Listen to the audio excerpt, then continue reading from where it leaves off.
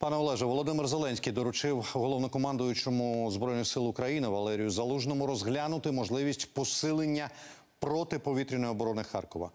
Так, президент відп- відповів на електронну петицію. Чи є взагалі можливість посилити захист неба над Харковом, чи дозволяють це наші ресурси?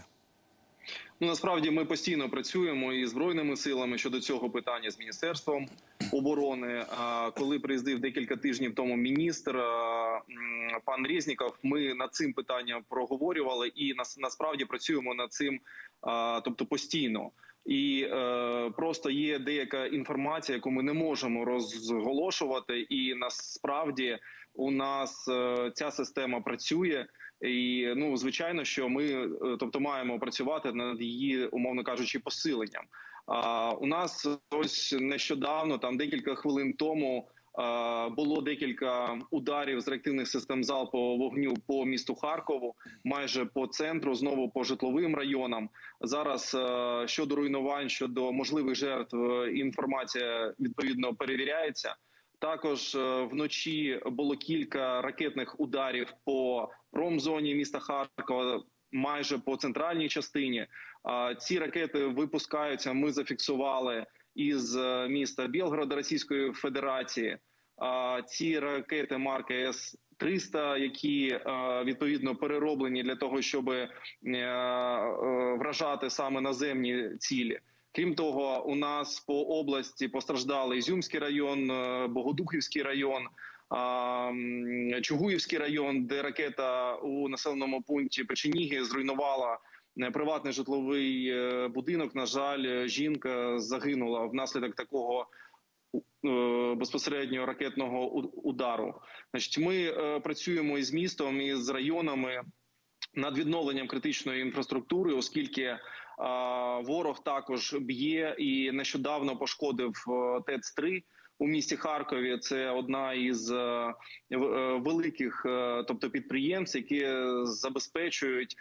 Майже третину міста Харкова, тобто теплоносієм і відповідно гарячою водою. І нас наразі завдання через резервний фонд, який нам було виділено, і ми знову будемо звертатися до уряду за цим, щоб максимально відновити критичну інфраструктуру і, власне кажучи, підготувати місто, підготувати область е, до е, зимового періоду.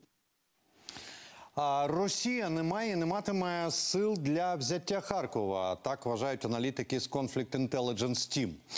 Протягом усієї війни росіяни були вкрай е, аналітики були вкрай точні у своїх прогнозах. Чи мають рацію нині, на вашу думку? І чого, на вашу думку, знову таки, я не, не питаю вас про якусь таємну інформацію, але як ви вважаєте, чого не вистачає Росії в першу чергу за кількістю зброї на харківському напрямку? Наскільки вона, тобто Росія, випереджає Україну зараз? І яких поставок чекає зброй, е, чекають збройні сили України? Ну, ви знаєте, я б тут говорив не те, що Росії не вистачає. У них е, такі сили були як. е, 24 лютого, так і зараз вони зві- звісно проводять і ротацію, звісно, проводять е, посилення, маневрування, переброс військової техніки. Однак ми стали значно сильніше. Ми вистояли з 24 лютого і вистоїмо зараз, оскільки ми постійно працюємо над підвищенням наших е, ну тобто нашої там обороноздатності, фортифікаційні споруди, інженерні мережі, військові я маю на увазі, і звичайно е, посилюємося е, з е, військової. Умовно кажучи, сторони це відповідні е, збройні сили. Я маю на увазі е, силу, тобто е, солдатів і військової техніки, і тощо у нас е, повірте, у наших збройних силах дуже сильна мотивація.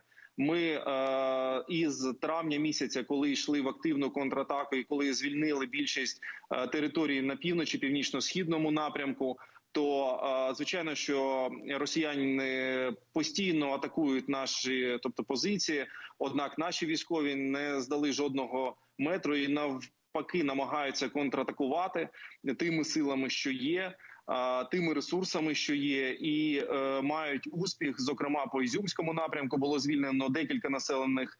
е, Пунктів а нагадаю для окупантів цей напрямок є дуже принциповим, як і північ, тобто північно-східний напрямок, оскільки через Це Ізюмський південно-східний напрямок. Вони направляють свої війська на Донецьку і Луганську територію для збільшення там своєї військової, тобто присутності. Е, Тому е, у нас перспективи е, дуже сильні, і наші військові мають успіх на всіх абсолютно напрямках. А про дивовижне, як на мене, хочу запитати вас. Справа в тім, що Харківщина лідирує за темпами розмінувань. Хоча так, не- нещодавно ми чули, що двоє людей підірвалися на мінах, але це лише показує наскільки е, серйозна проблема. Як іде процес розмінування? Ну, грубо кажучи, як вам це вдається? Процес розмінування для нас є також принциповим, оскільки зараз у нас іде а, сільськогосподарські роботи, іде жнива. І е, ось буквально вчора 25 гектарів пшениці знищив все ж таки е, ворог. Цілеспрямовано він це робить. Однак підрозділи ДСНС працювали оперативно і е, безпосередньо попередили ще е, більші збитки. Е, І зважаючи на ці заходи, ми дійсно маємо продовжувати темпи роз- розмінування, їх постійно посилювати. Це при тому, що це розмінування ведеться під постійним вогнем.